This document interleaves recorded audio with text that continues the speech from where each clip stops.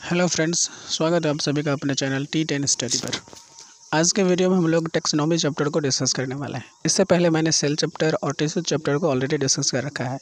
यदि आप किसी भी गवर्नमेंट एग्जामिनेशन की तैयारी करते हैं, जिसमें साइंस से क्वेश्चन पूछे जाते हैं तो ये वीडियो आपके लिए इंपॉर्टेंट बन जाता है। ठीक है, खास करके आप लोगों को पता होगा कि रेलवे ग्रुप डी का एग्जामिनेशन होने वाला है।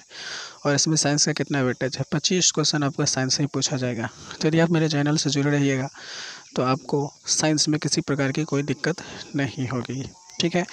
तो आज के वीडियो में हम लोग डिस्कस करने वाले हैं जनरली टेक्सोनॉमी के बारे में। टेक्सोनॉमी का मतलब होता है वर्ग की, ठीक है? अब तो चलिए वीडियो को शुरू करते हैं, लेकिन शुरू करने से पहले यदि आप चैनल पर पहली बार है तो सब्सक्राइब ज़रूर कर लीजिएगा और अपने फ्रेंड सर्कल में शेयर कर दीजिएगा। देखिए, सबसे पहले तो मैं आपको बता दूँ तो ये टेक्सोनॉमी आखिरकार ज़रूरत क्यों पड़ा? यानी कि वर्गीकी का ज़रूरत क्यों पड़ा? तो देखो, हमारे आसपास विभिन्न प्रकार के जीव हैं। ठीक है? और सभी जीवों में कई प्रकार की समानताएँ और विसमानताएँ होती हैं। और अगर स्टडी करने के लिए बोला जाए तो इतने सारे जीव हैं, सबको एक एक करके स्टडी करना थोड़ा सा मुश्किल हो जाएगा। इसीलिए इनको क्या किया गया? अलग अलग कैटेगरी में इनके समान और विसमान गुणों के आधार पर रखा गया, ताकि स्टडी में सुविधा हो पाए। ठीक है? तो देखो, हमारे आसपास जितने भी जीव हैं, उसमें समानता और विसमानताएँ पाई जाती हैं। तो ये जो समानता और विसमानताएँ पाई जाती हैं, इनको कहा जाता है बायोडाइवर्सिटी यानी कि जैव विविधता। जीवों में पाए जाने वाले विविधताओं को जैव विविधता कहा जाता है, ठीक है? और स्टडी में सुविधा के लिए इसको अलग अलग कैटेगरी में डिवाइड करा गया, उसको क्या बोलते हैं? टेक्सोनॉमी बोलते हैं, वर्ग की बोलते हैं, ठीक है? तो पहला क्वेश्चन कह रहा है कि जीव विज्ञान की वह शाखा, जिसमें जीवों के वर्गीकरण के संबंध में अध्ययन किया जाता है, क्या कहलाता है? टेक्सोनॉमी कहलाता है ओके याद रहेगा? देखो टेक्सोनॉमी जो है टेक्सोनॉमी का स्थापना किया था कार्ल लेनियस ने। किसने किया था? कार्ल लेनियस ने किया था। इसको कभी कभी कार्ल सेलेनियस भी लिखा जाएगा, ठीक है? तो कन्फ्यूज़ मत कीजिएगा।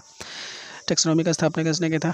कार्ल लेनियस ने किया था और इन्होंने ही सबसे पहले जीवों को वर्गीकृत करना शुरू किया था। चलो, अगला प्रश्न है टेक्सोनॉमी का स्थापना किसने किया? मैंने तुरंत बताया टेक्सोनॉमी का स्थापना किसने किया था? कार्ल लेनियस ने किया था।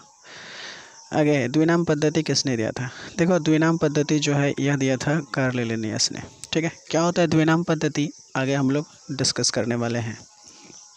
देखो, द्विनाम पद्धति जो होता है, द्विनाम पद्धति का अभिप्राय क्या है? तो द्विनाम पद्धति का अभिप्राय अभिप्राय है जीवों के नाम दो नाम मतलब जो नाम होता है, उसके दो शब्द से लिखना, ठीक है? जैसे कोई भी जीव है उसका एक नाम है तो उसका जो वैज्ञानिक नामकरण किया जाता है तो उसमें दो शब्द को इंक्लूड करा जाता है। तो दो शब्द कौन कौन से इंक्लूड करे जाते हैं? एक तो उनके वंश का इंक्लूड करा जाता है और एक जाति का इंक्लूड करा जाता है। वंश का मतलब हो गया जीनस इंग्लिश में क्या बोलते हैं? जीनस तो ये भी याद रखिएगा। और जाति को बोलते हैं स्पीसीज ओके क्या बोलते हैं? स्पीसीज बोलते हैं। तो हो सकता है आपके एग्जामिनेशन में इंग्लिश में भी पूछ लें। तो जब द्विनाम पद्धति का यूज़ करा जाता है तो उसमें कौन से दो शब्द को यूज़ करा जाता है? तो एक तो जीनस का और एक स्पीसीज का। तो चलिए, क्या होते है? द्विनाम पद्धति हम लोग देख लेते हैं एक बार में। जैसे कि देख लो, यहाँ पर मैंने बाघ का क्लासिफिकेशन किया है, ठीक है? तो इसमें मैंने क्या बताया कि जो भी जीव होते हैं, उनको सात ऑर्डर में डिवाइड करा जाता है। सबसे जो टॉप पर होता है, उसको बोलते हैं किंगडम यानी कि साम्राज्य, ठीक है? उसके बाद आता है फाइलम फिर आता है क्लास फिर आता है ऑर्डर फिर आता है फैमिली फिर आता है जीनस और फिर आता है स्पीसीज इस ऑर्डर में आप लोग याद रखोगे। आपके एग्जामिनेशन में इस ऑर्डर में भी सजाने के लिए बोल देता है, ठीक है? तो किसी भी जीव का जो वर्गीकरण का आधार होता है, वो होता है जाति, यानी कि स्पीसीज या फिर वंश भी आपको दे देगा एग्जामिनेशन में, याद रहेगा। ओके तो ये सात लेवल होते हैं, सात स्तर होते हैं किसी भी जीव के वर्गीकरण का। कौन कौन सा? सबसे टॉप पर हो जाएगा आपका साम्राज्य, ठीक है? उसके बाद फाइलम उसके बाद वर्ग, उसके बाद ऑर्डर उसके बाद कुल, उसके बाद वंश और उसके बाद जाति। तो अगर हम बात करें बाघ का तो बाघ किस साम्राज्य से बिलोंग करता है? तो बाघ का जो साम्राज्य है, वह है जंतु। बाघ क्या है? जंतु है, ठीक है? और किस फाइलम से बिलोंग करेगा? कॉर्डेटा फाइलम से। वर्ग क्या है इसका? स्तनधारी है। देखो कॉर्डेटा का मतलब होता है नोटोकॉर्ड की उपस्थिति। जैसे हम लोगों में रीढ़ की हड्डी है ना तो ये जो रीढ़ की हड्डी है यह नोटोकॉर्ड को ही दर्शाता है। स्तनधारी का तो मतलब आप लोग समझते ही होंगे, स्तनधारी का मतलब हो गया स्तन धारण करने वाला ओके ऑर्डर ऑर्डर कहने का मतलब ये हो गया मांसाहारी ओके फैमिली यानी फैमिली जो है इसका ये फैलरी फैमिली से बिलोंग करता है। जीनस क्या है? पैंथेरा और जाति क्या है? टाइग्रिस तो मैंने तुरंत बताया था, जो द्वि नामकरण किया जाता है, वो दो शब्द लिया जाता है, एक जाति और एक वंश, यानी कि एक जीनस और एक स्पीसीज तो इस तरीके से बाघ का जो वैज्ञानिक नाम हो जाएगा, क्या हो जाएगा? पैंथेरा टाइग्रिस पैंथेरा क्या हो गया? जीनस हो गया। और टाइग्रिस क्या हो जाएगा? स्पीसीज हुआ ठीक है तो याद रहेगा बाघ का वैज्ञानिक नाम क्या हो जाएगा? पेंथेरा टाइग्रिस तो इस तरीके से क्लासीफाई किया जाता है। चलिए एक और देखते हैं। जैसे यहाँ पर मैंने लिखा है आम का वर्गीकरण, ओके? तो मैंने भी बताया था कि जो वर्गीकरण जो होता है वो सात लेवल में किया जाता है। सबसे टॉप पर होता है साम्राज्य सेकेंड फॉलम फाइलम थर्ड वर्ग, यानी class fourth order fifth family यानी कुल सिक्स जीनस यानी वंश और सेवन्थ हो जाएगा स्पेसीज यानी जाति। आप इंग्लिश और हिंदी दोनों में याद रखोगे। तो आम जो है, उसका साम्राज्य क्या है? तो ये वनस्पति है, यानी कि प्लांटी से है ओके उसके बाद फाइलम क्या है? तो ट्रैकियोफाइट है। क्या है? ट्रैकियोफाइट क्लास क्या है? तो क्लास इसका हो जाएगा मैग्नोलियोपसिडा ओके ऑर्डर क्या हो जाएगा? सेपी सेपिनडेल्स उसके बाद फैमिली एनाकार्डियसी सबसे ज़्यादा इंपॉर्टेंट है आपका वंश और जाति, क्योंकि इन्हीं दो को लेकर के नामकरण करा जाता है। तो वंश क्या है आम का? मेंजिफेरा और आम का जाति क्या है? Indica, okay? तो याद रखिएगा, आम का वैज्ञानिक नाम क्या हो जाएगा? मेंजिफेरा इंडिका, क्योंकि मैंने तुरंत बताया कि जब भी नामकरण करा जाता है तो उसमें लिया जाता है दो शब्द, और दो शब्द क्या है? तो उसी को द्विनाम पद्धति कहा गया तो दो शब्द हो जाएगा वंश का और एक जाति का। तो आम किस वंश से संबंधित है? तो मंजीफेरा वंश से संबंधित है। और आम का जाति क्या है? यानी किस स्पीसीज़, कैसा स्पीसीज़ है? तो एंडी का स्पीसीज़। ओके? उम्मीद करते हैं कि जो भी पॉइंट बताया आपको समझ में आया होगा। चलो आगे देखते हैं। आगे है, वर्गीकरण का पितामह किसे कहा जाता है? या वर्गीकरण का पितामह किसे कहा जाता है? तो ये कहा जाता है कार्लेनियस को। ठीक है? पितामह का है या जनक का है एक ही चीज़ है। ठीक है? तो बात आता है कार्लेनियस को वर्गीकरण का जनक क्यों कहा जाता है? इसलिए कहा जाता है क्योंकि सबसे पहले टेक्सोनोमी का स्थापना इन्होंने ही किया था। ठीक है? और इन्होंने ही टेक्सोनोमी का स्थापना करने के बाद जीवों को सबसे पहले डिवाइड करा था। ठीक है? कितने पार्ट में डिवाइड करा था? सब हम लोग आगे देखने वाले हैं। चलिए, आगे है वर्गीकरण की आधारीय इकाई क्या है? तो देखिए, वर्गीकरण की जो आधारीय इकाई है वह स्पीसीज मैंने बताया था ना, सात सबसे बॉटम में कौन था? स्पीसीज यानी कि जाति। तो वर्गीकरण की जो आधारीय इकाई है, वो क्या हो जाएगा? जाति हो जाएगा। देखो, यहाँ पर मैंने फिर से लिख रखा है। आप चाहो तो इसको स्क्रीनशॉट करके भी लिख रख सकते हो, ठीक है? वर्गीकरण पद्धति में सात अलग अलग स्तर होते हैं। सबसे ऊपर होता है किंगडम उसके बाद फाइलम उसके बाद क्लास उसके बाद ऑर्डर फिर फैमिली जीनस और लास्ट में स्पीसीज और यही आधारीय इकाई है। चलो आगे देखते हैं। वर्गीकरण की द्विनाम पद्धति का उल्लेख लेनियस ने किस पुस्तक में करा था? तो देखो, द्विनाम पद्धति का जो उल्लेख है ना, इसमें इन्होंने किसमें करा था? तो स्पेसीज प्लांटेरम में किया था। ठीक है? द्विनाम पद्धति, याद रखिएगा। द्विनाम पद्धति का उल्लेख किया था स्पेसीज प्लांटेरम में, लेकिन टेक्सोनॉमी का जब पूछेगा तो हो जाएगा सिस्टेमा नेचर का। ठीक है? कहीं कभी सिस्टेमा नेटूरे मिलेगा। ठीक है तो ये कन्फ्यूज़ नहीं होना है। द्विनाम पद्धति किसने दिया था? कैरोलस लेनियस ने दिया था और किस पुस्तक में उल्लेख किया था? तो स्पेसीज प्लांटेरम ए इसका करेक्ट आंसर होगा। आगे है, मानव का वैज्ञानिक नाम क्या है? तो मानव का वैज्ञानिक नाम होता है होमोसेपियंस लीन मेंजिफेरेंडी का मैंने तुरंत तो बताया, किसका होता है? आप कमेंट बॉक्स में बताइएगा। ठीक है? पेंथेरा टाइग्रिस किसका है? बाघ का है। आगे है चार्ल्स डार्विन ने कौन सी पुस्तक लिखी? तो देखो चार्ल्स डार्विन और लेमार्क ये दो ऐसे वैज्ञानिक थे जिन्होंने विकासवाद से संबंधित अपना अपना सिद्धांत दिया था। ठीक है? तो चार्ल्स डार्विन ने दिया था कि ऐसा सिद्धांत जिसमें जीव के बारे में कहा था कि वही जीव इस दुनिया में अपना अस्तित्व बना रख सकता है जो संघर्ष करके ज़िंदा रहेगा। समझ रहे हो? तो ये जो चार्ल्स डार्विन है, ये सिद्धांत इन्होंने किस बुक में दिया था? तो द ओरिजिन ऑफ़ स्पीसीज़ में दिया था। ठीक है तो ऐसा भी क्वेश्चन पूछेगा कि द ओरिजिन ऑफ़ स्पीसीज नामक पुस्तक किसने लिखा? चार्ल्स डार्विन ने। और सिस्टेमा नेचर किसने लिखा? लिनियस ने। और प्लांटेरम किसने लिखा? लिनियस ने लिखा। आगे है। लेनियस ने टेक्सोनॉमी से संबंधित सिद्धांत किस पुस्तक में दिया तो देखो, टेक्सोनॉमी से संबंधित सिद्धांत दिया था सिस्टेमा नेचर में। ओके? द्विनाम पद्धति पूछ लेगा तो स्पीसीज प्लांटेरम चलो, यहाँ पर कुछ थ्योरी ये देख लेते हैं। देखो, कैरोलस लिनियस ने पोषण के दृष्टिकोण से जीवों को दो साम्राज्य में डिवाइड किया था तो ये इंपॉर्टेंट है, याद रखिएगा।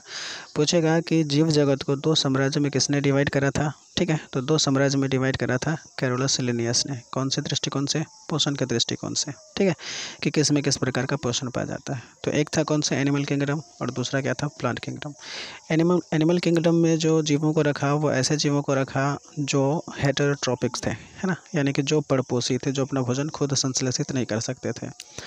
प्लांट किंगडम में इन्होंने वैसे जीवों को रखा जो अपना भोजन खुद संश्लेषित करते थे, यानी कि फोटोसिंथेसिस करने में सक्षम होते थे। ओके तो याद रखिएगा, जीवों को दो जगत यानी दो साम्राज्य में किसने बांटा? कैरोलस लिनियस ने। कौन कौन सा था? एनिमल किंगडम और प्लांट किंगडम आगे है लिनियस द्वारा जीवधारियों को दो जगत में विभाजित करने के बाद भी ऐसा पाया गया कि कुछ जीवधारी संपूर्ण रूप से जंतु होने अथवा पादप होने की शर्तों को पूरा नहीं करते हैं। ठीक है?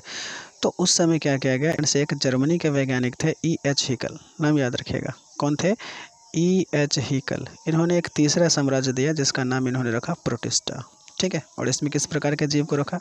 केवल एक कोशिकीय जीव को रखा। ठीक है? तो तीसरा साम्राज्य किसने दिया था? हीकल ने दिया था। नाम क्या था उसका? प्रोटिस्टा था। ठीक है? फिर बाद में एक और वैज्ञानिक आए आर वी टेकर इन्होंने एक चतुर्थ साम्राज्य दिया और उसका नाम रखा मोनेरा ठीक है? फिर बाद में इन्होंने एक और साम्राज्य का नाम दिया आर वी टेकर ने पंचम साम्राज्य का नाम, जिसका नाम क्या दिया? कवक दिया, यानी कि फंगी दिया। ठीक है? तो देखो, यहाँ पर क्या कंक्लूजन निकल कर के आता है कि जब कार्ल लेनियस ने जीवों को दो भाग में डिवाइड करा, ठीक है, एक प्लांट में और के एक एनिमल में तो वहाँ पर क्या हुआ कि कुछ ऐसे भी जीव थे जो ना तो जंतु का शर्त पूरा करता था, ना ही पादप का। तो उसके लिए इन्होंने एक जर्मन वैज्ञानिक थे, हीकल। उन्होंने क्या किया, एक तीसरा साम्राज्य दिया प्रोटिस्टा और इन प्रोटिस्टा साम्राज्य में सिर्फ़ और सिर्फ़ एक कोशिकीय जीवों को रखा। ठीक है? लेकिन एक कोशिकीय जीवों में भी बहुत सारे ऐसे जीव थे जो यूकैरियोटिक थे और प्रोकैरियोटिक थे। तो उसके हिसाब से बाद में आर वी टेकर ने क्या किया दो साम्राज्य और दिया? एक चौथा साम्राज्य दिया मोनेरा और पाँचवा साम्राज्य दिया फंगी, यानी कि कवक ठीक है? चलिए, इन सभी के बारे में हम लोग आगे के वीडियो में डिस्कस करेंगे। संपूर्ण जीव जगत को दो साम्राज्य में किसने बांटा? मैंने तुरंत बताया, किसने बांटा? लेनियस ने बांटा, है ना? तो कौन कौन सा पार्ट हो गया? तो एक हो गया एनिमल किंगडम और एक हो गया प्लांट किंगडम ठीक है। दोस्तों, यदि इसका पीडीएफ चाहते हो तो आप हमारे टेलीग्राम चैनल से जुड़ सकते हो। टेलीग्राम चैनल का भी सेम नाम है टी स्टडी ठीक है। वहाँ पर जुड़ करके वहाँ से ये पीडीएफ आप इजीली ले सकते हो। चलो, आगे देखते हैं। आगे है, संपूर्ण संपूर्ण जीव जगत को तीन साम्राज्य में किसने बांटा? तो संपूर्ण जीव जगत को तीन साम्राज्य में बांटा था ई एच हिकल ने। इनका बांटने का स्तर क्या था? एनिमल किंगडम और प्लांट किंगडम और प्रोटेस्टा ठीक है? तो एनिमल किंगडम प्लांट किंगडम और प्रोटेस्टा इस तीन साम्राज्य में किसने बांटा था? तो याद रखिएगा ई एच हीकल तो आपसे एग्ज़ाम में पूछा जाएगा कि जीव जगत को तीन जगत में किसने वर्गीकृत किया था? तो हीकल ने किया था और वो कौन कौन सा था? तो एनिमल किंगडम प्लांट किंगडम और प्रोटेस्टा था।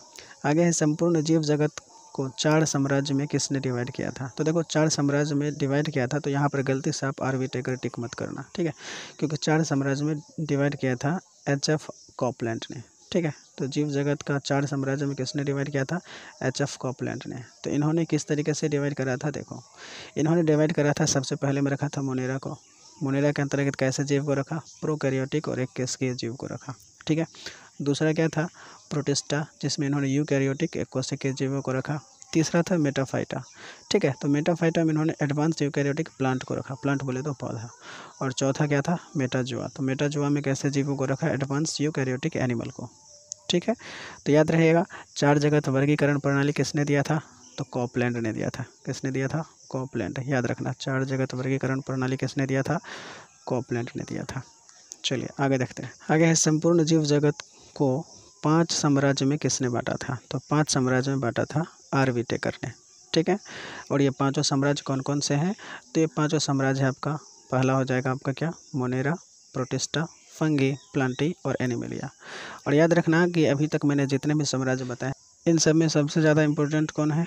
तो यही पाँचों। आर वी टेकर के द्वारा जो डिवाइड करा गया। तो आप चाहे आप नाइन्थ की क्लास में पढ़ो या प्लस वन की क्लास में पढ़ोगे ठीक है, या कहीं भी किसी बुक में अगर साइंस में नहीं, अगर आप आरबी टेकर का क्लासिफिकेशन पढ़ते हो तो यही आपको पढ़ना पड़ेगा। ठीक है, क्योंकि इसी से आपको ब्रीफ नॉलेज मिलता है और यही से आपके एग्जामिनेशन में क्वेश्चन पूछते हैं। तो हम लोग मोनेरा प्रोटेस्टा फंगी प्लांटी और एनिमेलिया को एक सेपरेट वीडियो में डिस्कस करेंगे। मोनेरा को सेपरेट वीडियो में प्रोटेस्टा को सेपरेट वीडियो में। लेकिन ये मैं यहाँ पर एक छोटा सा एक जानकारी देता हूँ। मोनेरा के अंतर्गत इन्होंने रखा प्रोकैरियोटिक एक कोशिकीय जीव को। प्रोटिस्टा के अंतर्गत आरवी टेकर ने रखा। यू कैरियोटिक एक उसके जीवों को। फंगी के अंतर्गत वैसे पौधे को रखा जिनमें हरित लवक नहीं था, जैसे कि मशरूम वगैरह, ठीक है? प्लांटी के अंतर्गत वैसे पौधों को रखा जो प्रकाश संश्लेषण करने में सक्षम थे, और एनिमिलिया के अंतर्गत इन्होंने किसको रखा? तो जंतु को रखा, ठीक है? तो ये जो पाँच जगत वर्गीकरण प्रणाली है तो इस पाँच जगत वर्गीकरण प्रणाली को किसने दिया था? तो याद रखेगा ये दिया था आर वी टेकर ने। किसने दिया था?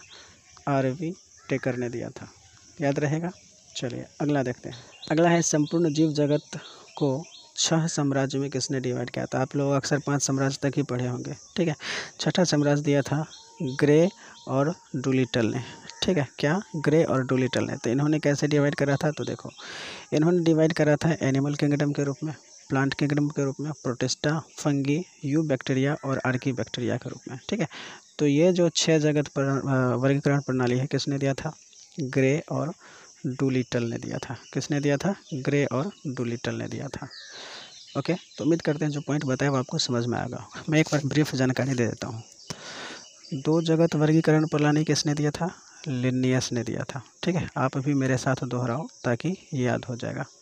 ओके, दो जगत वर्गीकरण प्रणाली लिनियस तीन जगत किसने दिया था? ई एच हीकल ने दिया था। किसने? ई एच हीकल ने दिया था। चार जगत वर्गीकरण प्रणाली किसने दिया? कॉपलैंड ने दिया। किसने दिया? कॉपलैंड ने दिया। ओके? चलो। पाँच जगत वर्गीकरण प्रणाली किसने दिया? तो ये दिया था आर वी टेकर ने। और सबसे ज़्यादा इम्पोर्टेंट आपका यही है, आर वी टेकर। ठीक है? और छठा जगत वर्गीकरण प्रणाली किसने दिया? तो छठा जगत दिया ग्रे और डुलिटल ने दिया था। तो उम्मीद करते हैं कि मैंने इस वीडियो में जितने पॉइंट्स बताए सभी आपको समझ में आया होगा। ठीक है? और मैंने पहले ही बताया कि जो पाँच जगत वर्गीकरण प्रणाली है, ये सबसे ज़्यादा इंपॉर्टेंट है। तो अगले वीडियो हम लोग मोनेरा को डिस्कस करेंगे। तो वीडियो के साथ जुड़ जाइए ताकि आपको साइंस में किसी प्रकार की कोई प्रॉब्लम ना हो। चैनल को सब्सक्राइब नहीं किया तो सब्सक्राइब कर लीजिए और वीडियो को से फ्रेंड सर्कल में शेयर कर दीजिए। मिलते हैं अगले वीडियो में। तब तक के लिए धन्यवाद।